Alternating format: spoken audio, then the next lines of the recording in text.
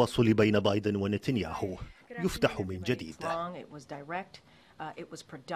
محادثة هاتفية وصفتها المتحدثة باسم البيت الأبيض كارين جون بيير بالمباشرة والبناءة بين الرئيس الأمريكي ورئيس الوزراء الإسرائيلي.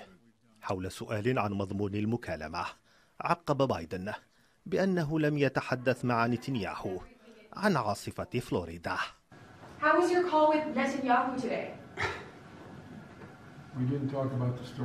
لكن بايدن تحدث مع نتنياهو عن عاصفة من نوع آخر.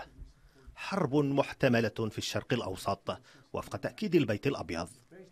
الطرفان بحثا أمر تهديد إسرائيل. شن هجوم على إيران يكون مفاجئا ودقيقا وقاتلا بحسب وصف وزير الأمن الإسرائيلي. قدرتنا على الهجوم قوية جدا وكما فعلنا حتى الآن في الحرب في جميع الجبهات. من يهاجمنا فسنهاجمه وسنجبي منه الثمن. هجومنا سيكون قاتلا ودقيقا ومفاجئا ولن يفهموا ما حدث وكيف حدث وسيرون النتائج.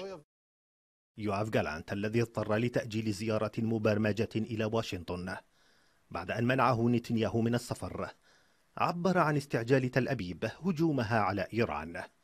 في وقت تتحدث فيه تقارير أمريكية نقلا عن إدارة بايدن عن ضرورة أن يكون الرد مدروسا بعيدا عن تعنت نتنياهو المسجل في عمليات أخيرة عسكرية أو استخبارية. فاجأت واشنطن بحسب موقع أكسيوس الأمريكي. معادلة الرد بالرد تدرك واشنطن جيدا مدى خطورة مآلاتها وهو ما يجعل من مرافقتها لقرار تل أبيب. أمرا لا مناص من تحقيقه